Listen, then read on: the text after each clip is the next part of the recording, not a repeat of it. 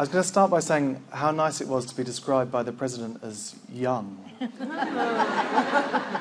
um, I'm, a, I'm a drummer. Um, I play drums, and after I've noticed recently, after every gig, the next day my muscles ache. Okay. Uh, and I go to bed early because my kids wake me up at 7 a.m. I mean, I am old.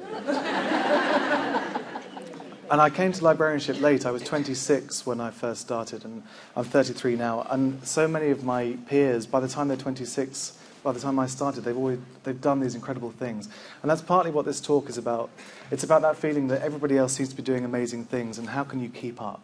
So the, the, this talk is about branding yourself as new professionals, and do you need to market yourself to get the job that you want?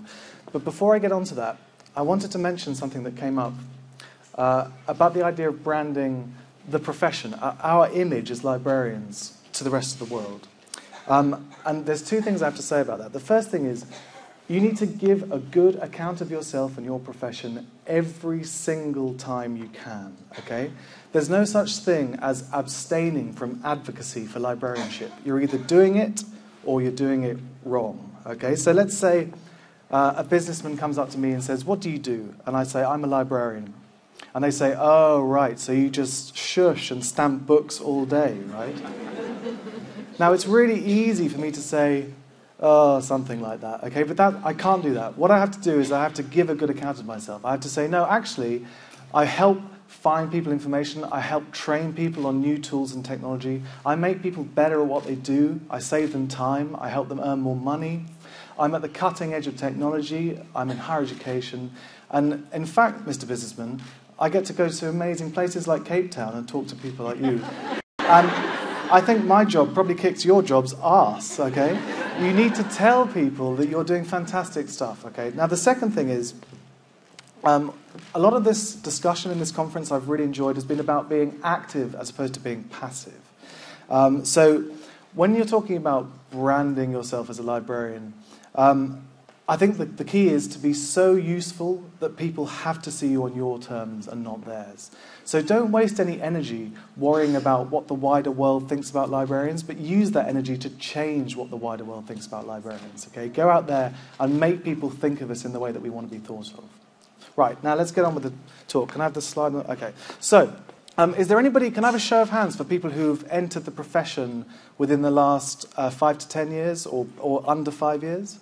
Okay, so we've got a few people. So the advice here is, is aimed at the new professionals, but actually the title is true about everybody. Okay, you all already have a brand, whether you like it or not. Okay, and you can influence it if you want to. So there are three things you need to know about brand. You've already got one. You can never fully control it. Okay, so you've got a brand. McDonald's has got a brand. Uh, Apple have got a brand. Coca-Cola have got a brand no one's fully in control of their brand, but the key message is don't panic, okay? It's all going to be okay. Now, there's a distinction to be made between branding and brand. And I'm talking about your brand, and I'm not talking about your branding, which is things like colors and logos and, uh, you know, like the, the LIASA branding, um, like that. I'm, I'm talking about your brand, which is essentially your reputation um, it's the sum total of everyone's perceptions of what you do. So, put it another way, um, your brand is what people say about you when you're not in the room. Okay? So, you don't need to necessarily worry about that, but if you are worrying about it, then there's things that you can do to help control it.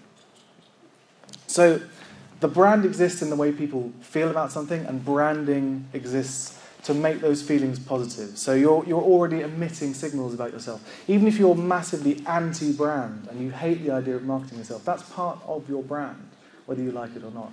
If you're a, if you're a speaker, that's part of your brand. If you're an organizer, that's part of your brand.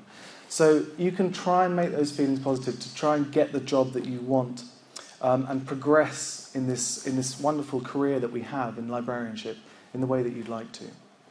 So you are here um, where do you want to be?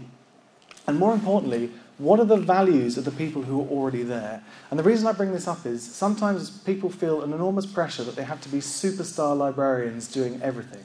So they see people giving talks or publishing articles or having you know, amazing online presences, and they think, how do they get time to do all this? I need to do all this stuff as well, and I can't.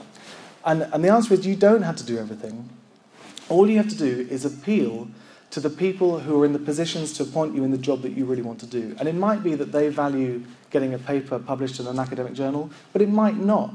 You need to know what it is that they value so that you can pursue those goals. Um, be true to yourself and what you're passionate about, and then find the kind of job that matches that. Okay? So, every path through this profession is different, every brand is different.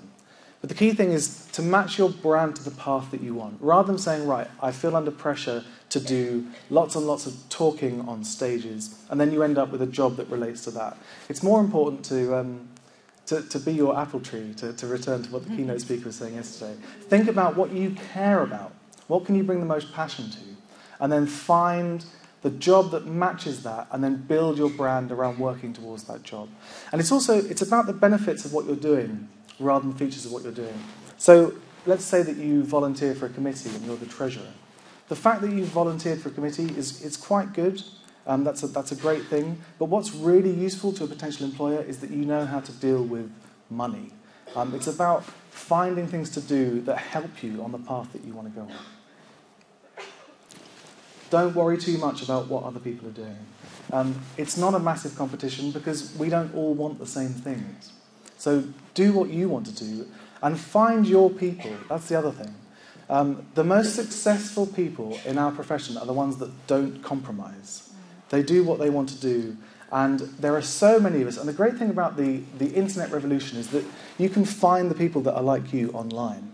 So if you find a set of people and they don't like what you're doing, screw them, okay? There's enough people that will like what you're doing.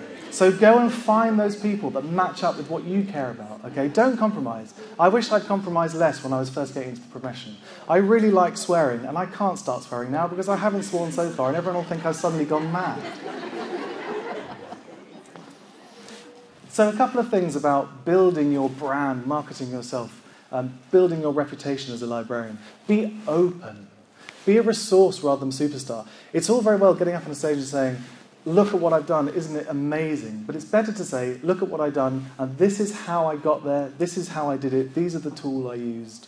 Um, you want to tell people how to achieve stuff. So be open, don't guard what you have, but give of yourself and share with the community because that's a great thing and it works. There's, there's this feeling that, you know, if I write about this new thing that I've done on a blog, then no one will want to speak to me about it because I've already written it down. But that's not true. The opposite is true. More people will want you to come and talk at conferences if you're putting your information out there. Give of yourself for free as much as you can. Now, people often think that branding yourself is all about self promotion, but it's really not. It's about being part of a dialogue. Just by being here at this conference, you're doing this. You're, you're interested in the future of libraries and the future of the profession. And that's a really important thing. And even if you don't have strong views now, they'll come. Don't feel like you have to know about everything straight away. You can build it up over time. So you build your brand by not just giving advice, but by taking advice, by listening to other people as well as talking to other people, by sharing the content that you think people will find useful, even if it's not your own content. Bring everything in and, and be part of a conversation about librarianship, and you'll start to build your brand. And there's a brilliant quote here from a librarian blogger in America. She says, It's a mistake to think of personal branding as an end in itself. A successful personal brand is a byproduct of the successful pursuit of one's own interest, contribution, and networking in librarianship. So, in other words, if you do what you care about and you do what you feel passionately about, in as open and public and networked a way as possible, then you'll get a great brand out of that. You don't need to have to you know, think, oh God, what do I do to build my brand? You can just do what you feel passionate about, and the, band, the brand will be a byproduct of what you're doing. Okay, so let's say that you've, you're with me so far. Mm-hmm. You admit that you have a brand, whether you want one or not. You've worked out that there is a, a path to the goals that you ultimately want to achieve in librarianship and you've worked out right i need to i need to build this brand to suit this path. So you want to influence it. What do you do? I would suggest five potential options. The first one is get online okay? Now um, you can go to a site like blogger.com or wordpress.com and with no knowledge of websites or the internet or anything at all within half an hour, you could have a free website of your very own that you can put on a card and tell people about and have people come visit it. You can start a blog with no money or expertise, and that's the wonderful thing about the age that we live in, is that there's so many opportunities that there weren't five, ten years ago. So get online and write about what you feel passionate about, or go to twitter.com and sign up for Twitter. Um, some people, myself included, take a long time to realize that Twitter is really useful, but I promise you, it's the number one most useful tool for me in my job. I use it like a human Google. I ask librarians questions on it all the time, and I use it to get opportunities. I mean, were, were it not for Twitter and blogging, I wouldn't be here today. Mm. I don't mean I'd be dead, I just mean I wouldn't be here in Cape Town today. They're not life saving, but they are very good. Um, the second thing is publish something. Um, there are calls for papers, for, for book chapters, for journal articles. There are, you know, preferably write for, for an open access publication so that you're part of the solution rather than part of the problem. Um, and, and, and get your views out there. And, but that's not to say that blogging is not a legitimate form of, of getting your views out there. I'm a big advocate of blogging. And if if you really want people to hear what you're saying, it's better to write it online than it is in an academic journal because academic journals aren't read by as many people as blogs. So, to, for example, I wrote a book about marketing libraries, and in its first year, it did about twice as well as they expected it to do, which meant it sold a thousand copies. But my blog has 2,000 subscribers, so more people read my blog than read my book. So if you've really got something to say, find a way that your biggest audience will say it. That said, there are still a lot of areas of the profession that would really value publishing an academic paper. And if this is what I mean about matching your brand to the path. If you're on that path, then think about trying to get published. And if you're not, don't worry, don't feel the pressure like you have to. Now, the third thing is organize something. Um, get involved in an event like this. Uh, be a helper, be a volunteer. Um, if you can't find a conference that does what you want, start your own conference. You know, put your entrepreneur's hat on and go into, into, the, into the town and try and get businesses to support what you're doing. Uh, the president mentioned that some people were waiting to join LIASA um, until it was accredited. Don't wait to join LIASA. Join now. I promise you, being part of a professional body is worth it because you're part of something bigger. You're not just having a dialogue with the people across the office from you. You're talking to the whole of librarianship as, as a whole. And what did you say? I'm not doing a sales job here. What did you say the rate was for renewing uh, the? 450. Okay, so it's 450 rand. Um, in the UK, it's 415 rand, sorry. In the UK, it's more, more like 3,000 rand. But the thing is, so it's already good value, but, but you only have to get one better job or pay increase as a result of the opportunities that the LIASA gives you to pay that back a, a hundred times. Because what being part of a professional body gives you is the opportunity to do things that your job doesn't yet give you the opportunity to do because you're not senior enough. Like writing papers, talking in presentations, organising events like this. Okay. Now, the fourth thing is share something. If you come up with something that you know is useful to the community, whether it's a new way of teaching information literacy or a great way to use technology to enhance conferences like this, or a way to get more people into public libraries, or whatever it might be, don't guard it, share it. Let other people learn how to do the same thing, and they'll thank you and they'll credit you. They won't steal the idea, they'll credit you and bring more people back to your original idea. Sharing something is great. And then the last thing is presenting something there are all, there's calls for papers for this conference. There are calls for papers for conferences all over the world. And as I say, if you can't find the kind of conference for the kind of paper that you want, then you know maybe make your own event and present at that. But it's a really good way to have all of these way, all of these methods here are about getting your ideas out there into the profession so that people can hear you and engage you in dialogue. Basically, what I'm saying is just do something. Do do anything, because there are so many nice people out there, there's so many free tools out there. Whatever you want to do, you can make it happen now in a way that you couldn't even in the year 2000, 2005, even 2010. There are so many tools out there that can make whatever idea you have a reality. So don't wait for somebody else to do it. Take the initiative, do stuff yourself, and it will be fantastically rewarding, I promise. Now, if you are a new professional. I've collated some advice from loads of people who, who are new professionals themselves or more senior professionals, and it's at that address at the top of the screen, thewikiman.org slash advice. Um, there is a bigger version of this presentation with more detail than the time allowed at bit.ly slash npdbrand. So have a look at that if you want more stuff on the topics that we've been talking about today. And the final thing I'd like to say is two things. Thank you for inviting me to your wonderful country. It's absolutely amazing.